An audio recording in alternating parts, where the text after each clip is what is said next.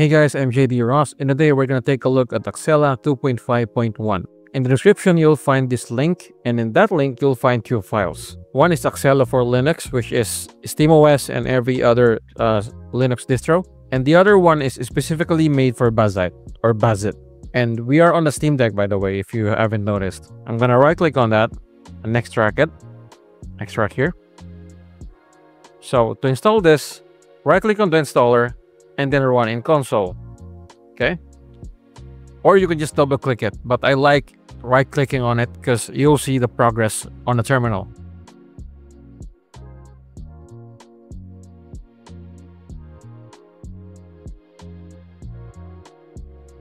Alright, so it's installed. But if you're on Bazzite and you want to install that, you could just right click on here and then open terminal here and then dot slash Accela install.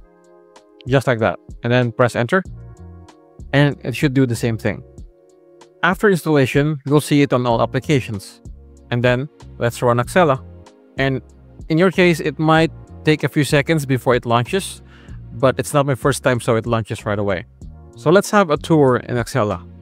At the bottom, you'll see the buttons, the search button, where you're going to search the game that you want to download. But for now, we're, we're not going to search anything. And the game library, where you could see all the games that you have currently installed via Accela. And the sound settings. You could turn off the audio or adjust the volume if you want. And the appearance settings or style settings, you can change the color of the app. I'm going to change mine to green and you could also change the background color from black to whatever. You could also change the font if you think this default font is not uh, readable for you. All right, so that's how I like my Accela. Let's go to settings. And first one is you have to make sure that you have an SLS Steam installed. In my case, I have one installed. It says update available because mine is not uh, updated. So we're going to press that. Yes. Right, so it's installed. There we go. Up to date. Next, close Steam. All right. And then open terminal. On the description, there will be this command, and I want you to paste this here. All right. And then press enter. When Steam launches, you should see the SLS Steam notification on the lower right, and then Steam should launch like this, and then you know that it actually works. Now, why did we launch Steam using SLS Steam command? That's because we need the config to be generated, which would be uh, located in home.config SLS Steam, and then this file is what we need. So open that up. Here we're going to change this setting to yes. And then we're going to change safe mode to yes. So save that and we can now proceed. Next, we're going to run SLScheevo. This is for the achievements for the games. If you don't need achievements or you don't want achievements, just turn this off and don't bother clicking this. But in my case, I want that, so I'm to check that and then run SLScheevo. Now here, you're going to log in your Steam account. You're going to put your username, you're going to put your password, and then you're gonna have to allow it to SteamGuard. But hold up, I know you're concerned. You're afraid of getting hacked, which I understand. But the only purpose of this process is to download the achievements on your Steam Deck so the game can use it offline. You have two other options on doing this. The first other option is using a dummy Steam account instead of your main account. That's totally fine if you want to not use your main account. The second other option is following this tutorial from Reddit. I'm going to link this in the description. Although I should warn you, it's a kind of long process compared to just using Cheevo. Then again, if you don't want to use your Steam username and password, even if it's a dummy account, this is the alternative. So it's up to you whether you want the short and easy way or the long and hard. So after you set up SLScheevo, we're gonna get your Morrenus API key. So how do you get your Morrenus API key? We're gonna visit Morrenus so here, what you want to do is click the button on the bottom first, not this one, this one. So join the server, verify on the server, and then at least get level 1. As long as you get level 1, you get usage. If you're confused, I'm, I'm gonna show you, right? So I'm verified on the server. I'm not going to go to the server now, but I'm going to continue with Discord. So authorize that. Right, so as I was saying, if you're level 1 on the Discord, you get 25 requests per day. So that's 25 games per day. If I'm gonna be honest, 25 games per day is crazy. If you need that much games, you must be a backlog collector. But if you want a higher limit, of course, just, you know, uh, participate in the Discord, you know, talk to people there. And then eventually you'll, you'll get to higher levels and you'll get more uh, requests per day. Or you could just shell out your money and just pay for it. It's really up to you. But in my case, I only need 25 because I don't always download games. Right, so to generate the API key, you have to go to API keys, right? And then generate API key. Copy that and then paste it on Accela. There we go. Let's talk about these settings. For SL Steam, it's the script that's going to handle the games on Steam where it's going to behave like a legitimate game. That's the purpose of SL Steam. Accela is the downloader. GreenLuma is the same thing, but on Windows. Now this one is new to me actually. Limit downloads to Steam libraries. It says detect Steam libraries and lets you choose in which library to download. Alright, I'm going to check that. And generate Steam achievements, I've talked about this earlier. And remove Steam DRM with Steamless. Now, most, if not all Steam games use Steam DRM as a security for the game. So to make sure that games run, enable this. But you also have to make sure that you have at least one installed Proton. In my case, I have Experimental 9.0 and Hotfix. I prefer Experimental, but you can set it to auto if you want.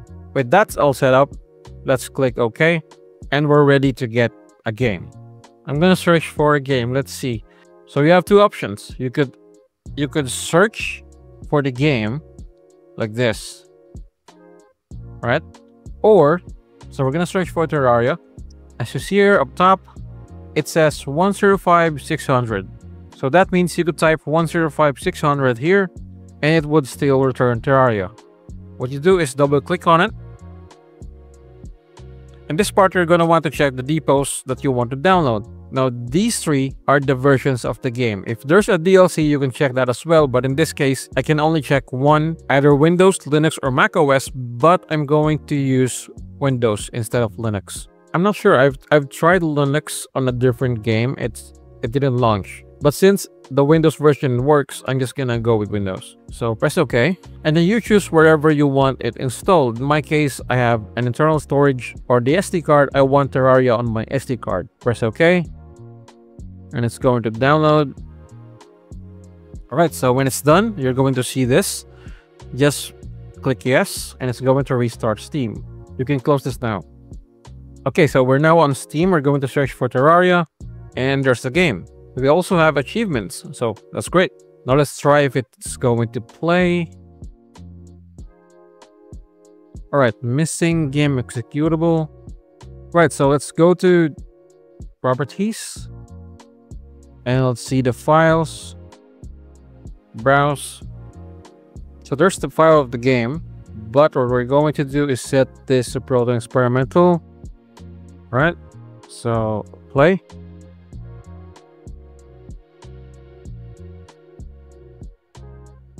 all right so the game works i'm gonna try to exit it okay so how do you update a game you can't just update from steam itself what you're gonna do is open Accela and then go to library, select the game that you want to update, and then click validate files.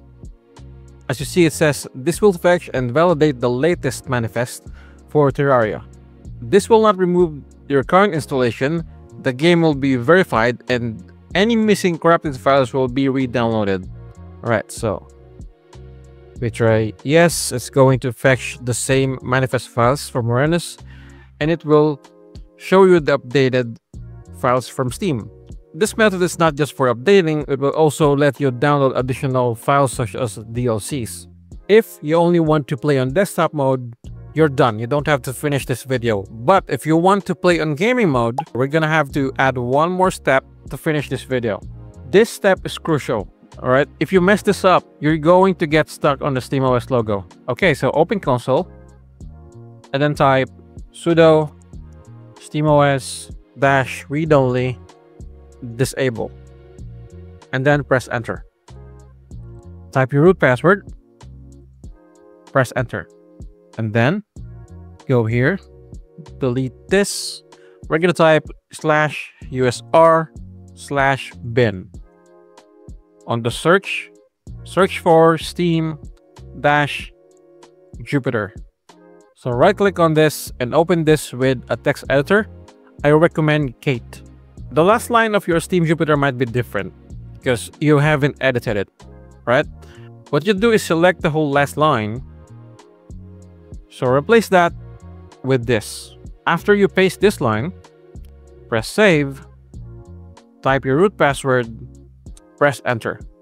So how do you make sure you're safe when going back to gaming mode?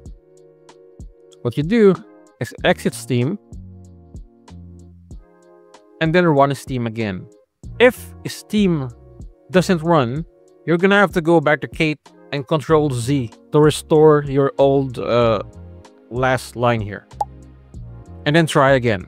But if Steam launches, in my case it did, that means I'm safe. You will also see an SLS Steam notification on the lower right. You can go to gaming mode and we're gonna try that right now. So we have Terraria here at the bottom. Let's see if it plays. And there we go. The game works on gaming mode. So that's it for this video.